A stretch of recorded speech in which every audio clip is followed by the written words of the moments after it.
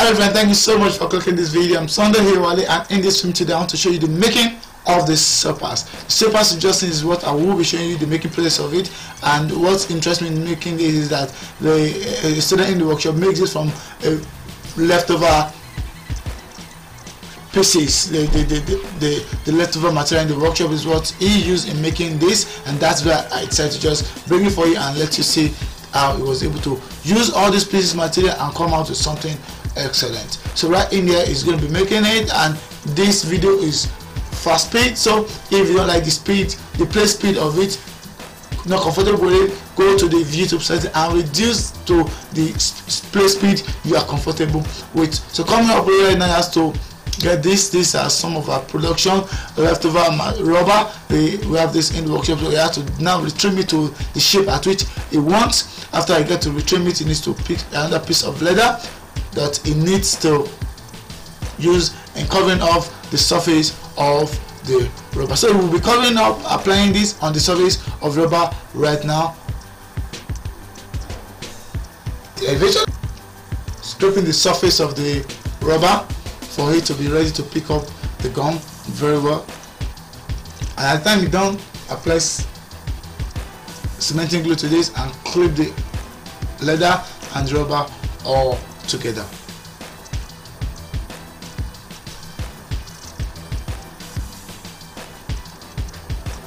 Mount pressure on it.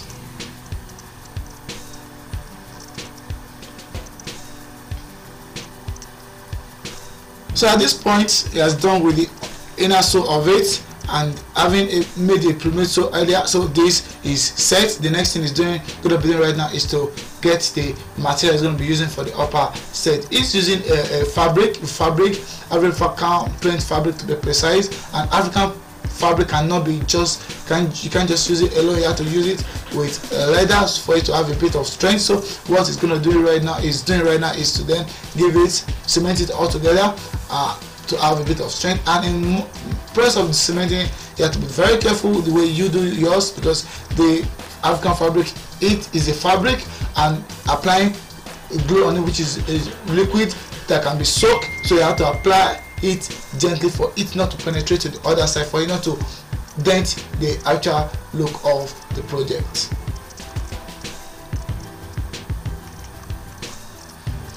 Properly glued together right now then it's time to then cut it. All together it's just making the basic. As the image I was showing earlier is just making the basic surpass the form of standard the stripes so you need to cut these stripes out. Right and you cut the stripes out. At the time you cut the stripes out it clips the tips of the stripe all together to make that tiny stripes you see on the preview image earlier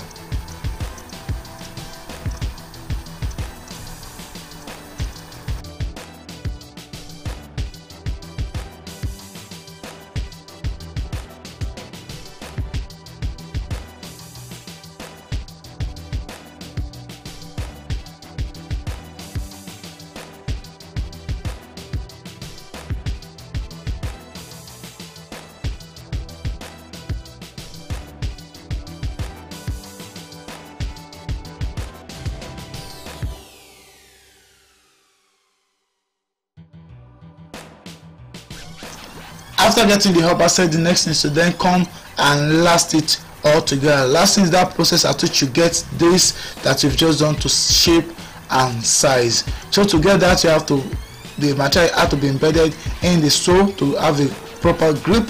So that is what we're going to be doing right now. Going to make up the holes in it. The holes make up the holes cut off the holes and then in, insert all the leather stripes fabric stripes i beg your pardon in it right now. So it's going to be embedded in it and then with a couple of gum I'm going to apply gum in it that is going to hold before we then proceed to cementing the upper layer and the last sole together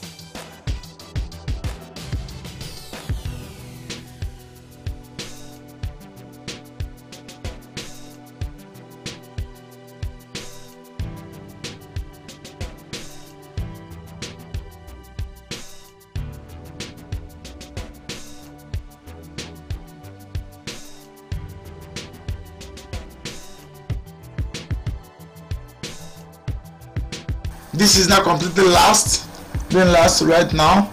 The next thing is going to be doing right now is that you're going to be cementing the upper layer and the sole together. So the last the midsole and the last is we're going to be putting together right now. So why you put that you have to consider the gum you're going to be applying using for that. You apply the two together.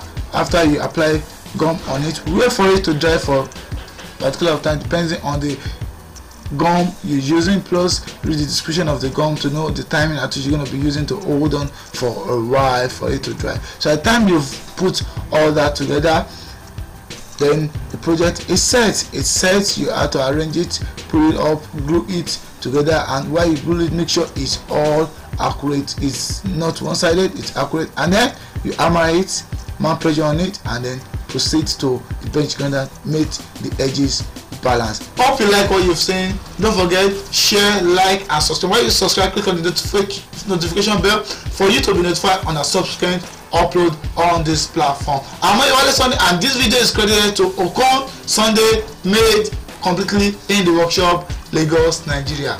Look forward to have you in a subsequent upload